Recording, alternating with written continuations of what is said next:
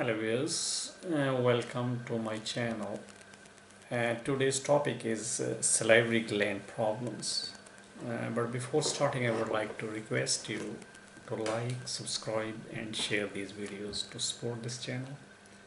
And uh, if you need more information about any disease or any medical condition, uh, you can visit our website which is www.diseasesandtreatment.com you know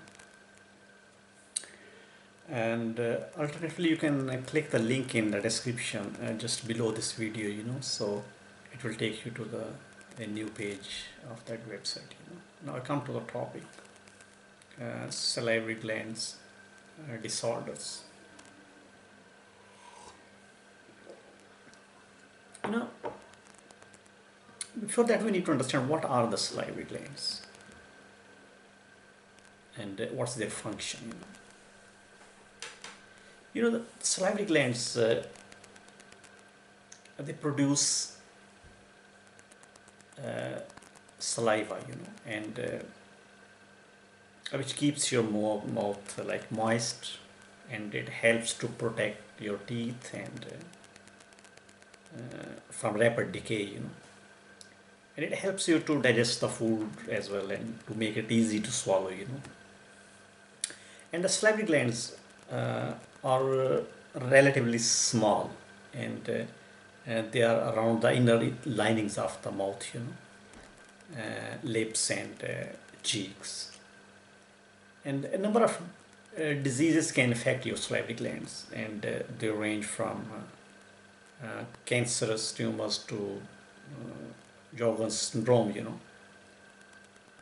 And while some go away with the time or the, with the antibiotics you know and others require more serious treatments including surgery you know. Now, the next thing what are the causes of the salivary gland disorders? Well as you know that there are three pairs of the salivary glands you know. Uh, they are called uh, uh, parotid submandibular and sublingual uh, salivary glands you know and uh, they are responsible for producing saliva as i said earlier you know and the most common cause of a salivary gland problem is blocked salivary glands you know uh, the ducts you know and uh, which can cause like painful symptoms.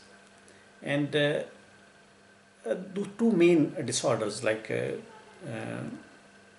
sialolithiasis and uh, cell you know these are the two main problems that can occur in a salivary gland you know and uh, cellulitis uh, uh, occurs when the stones made of the calcium uh, they form in the salivary glands you know.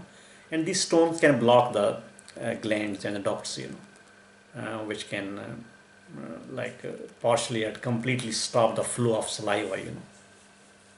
And the other condition which is known as uh, uh, you know so is uh, an infection which involves the salivary glands and uh, it often results from the stones blocking the gland you know. And uh, the staph or the staph bacteria can cause this infection and uh, the older adults and the infants are most likely to develop this kind of uh, gland infection you know salivary gland, gland infection you know. Now uh, the other one is uh, like uh, Sjogren's syndrome you know. Is there other common disorder and it occurs when uh, white blood cells target the healthy cells uh, in the moisture producing glands you know uh, such as salivary sweat and the oil glands.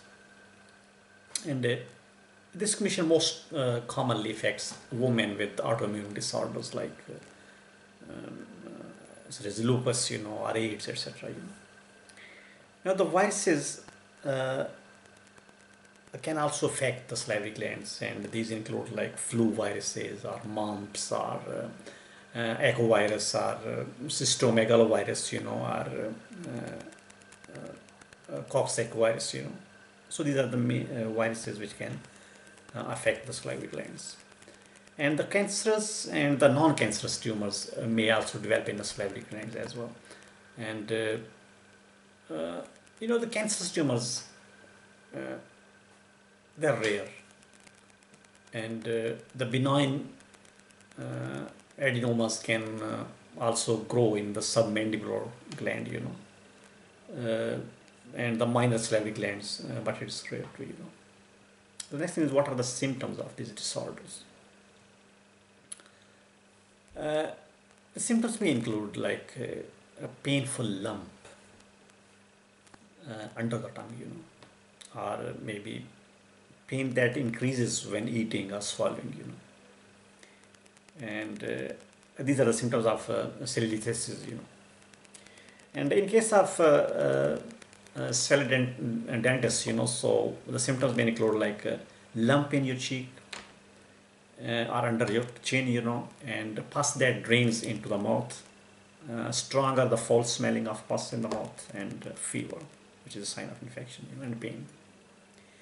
And uh, there are cysts that grow in your salivary glands, and they can cause like uh, yellow mucus or uh, difficulty in eating or uh, speaking or swallowing, you know.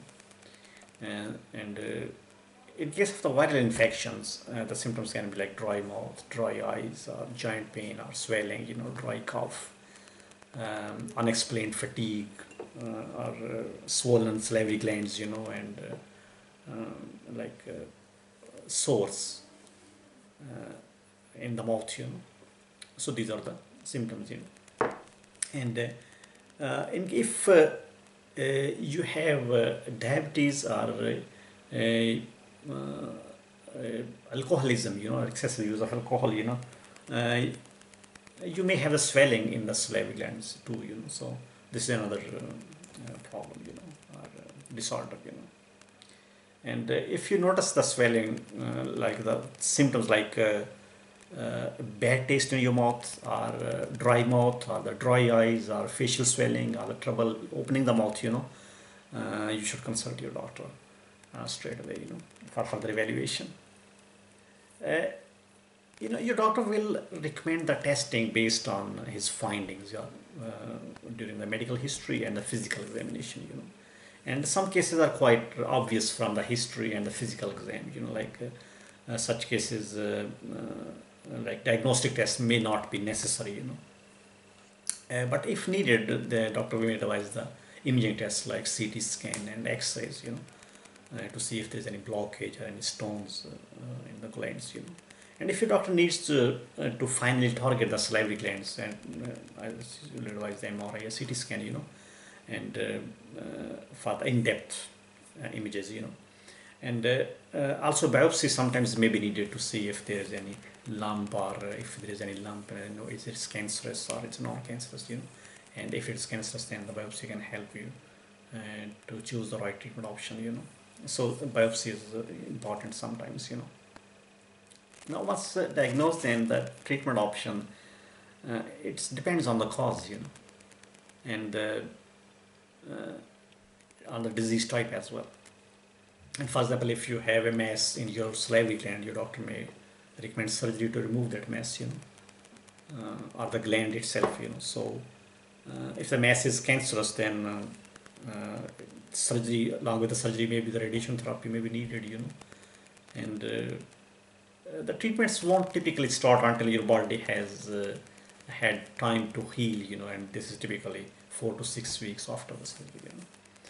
And the radiation treatments uh, uh, to the cheek, uh, to the neck, uh, can cause dry mouth, uh, which can be uncomfortable and annoying, you know, and can it can affect the digestive system, you know. So your doctor may recommend drinking plenty of fluids, you know, and avoiding the foods which are high in sodium, you know, and calcium. You know. And uh, if the salivary gland mass is not cancerous, then the radiation may not be required, and simply surgery will work, you know. And if it's uh, due to a, a uh, infection, then the antibiotics will be prescribed, you know. And uh, taking good care of your mouth, teeth uh, is vital to the successful salivary gland treatment, you know. And brushing and flossing your teeth uh, at least twice a day can help you to prevent the salivary gland problems, you know, disorders and decay, you know, tooth decay, you know. So you can keep your mouth moist by uh, rinsing with the mixture of uh, uh, like half teaspoon of salt in cup of water, you know. So uh, this way uh, you can uh, improve the oral health, you know.